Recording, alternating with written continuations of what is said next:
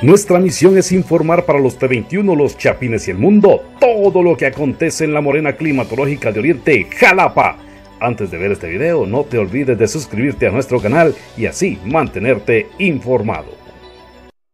Buscan evitar la tala ilegal de bosques en Jalapa. Esto para hacer algunas coordinaciones con diferentes instituciones. Así lo dio a conocer Luis Enrique Martínez Vázquez, director regional del Consejo Nacional de Áreas Protegidas. Precisamente el, señor gobernador convocó a todas las autoridades afines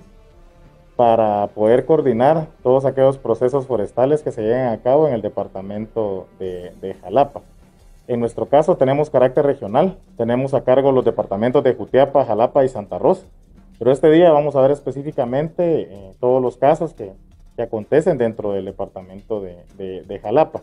Nosotros como CONAP actuamos dentro de las áreas protegidas, mas sin embargo la ley apunta a que todas esas acciones, según la, ley 4-89, que también tenemos que ver con las especies protegidas de flora y fauna que están fuera del sistema guatemalteco de, de áreas protegidas. Hoy llegaremos a un consenso para ver de qué manera todas aquellas actividades de control y vigilancia las podemos implementar tanto dentro como fuera de áreas protegidas y poder minimizar ese impacto de tala ilegal que existe dentro del, dentro del departamento de Jalapa. Todo bajo la jurisdicción eh, de, cada, de cada institución, como el Instituto Nacional de Bosques, por ejemplo, Policía Nacional Civil y la División de Protección a la Naturaleza. Todos en consenso a eh, hacer una reunión que salga un buen producto de acá y todas las actividades de control y vigilancia que sean en pro de la conservación de los recursos naturales del departamento de Jalapa. Ustedes ya tienen marcado algunas áreas de Jalapa eh,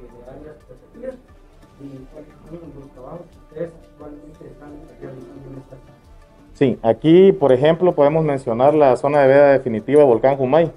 que es una de las ah, áreas que está dentro del sistema guatemalteco de áreas protegidas, en donde tenemos un guardarrecurso que está encargado de velar eh, por todas las acciones que, que ahí se den. Y de esta manera pues coordinamos las actividades de control y vigilancia, entre otras otros procesos que existen dentro de, dentro de estas áreas. Lamentablemente es muy poco el personal que existe, el personal de campo, háblese de guardabosques o guardarrecursos, como se les denomina en, en el CONAP,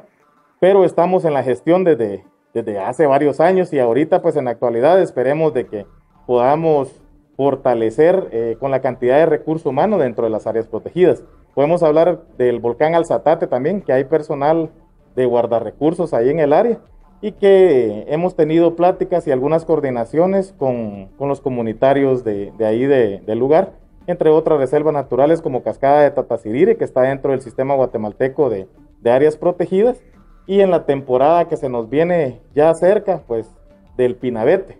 que tenemos un manchoncito o un foco de, de este espécimen dentro de, dentro de acá del departamento de Jalapa, específico de la, de la montaña, en el sector de Matacascuintla.